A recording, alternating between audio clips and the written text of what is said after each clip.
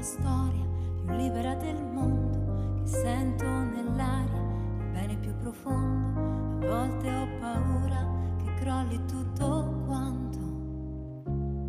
Non è razionale, non lo puoi spiegare.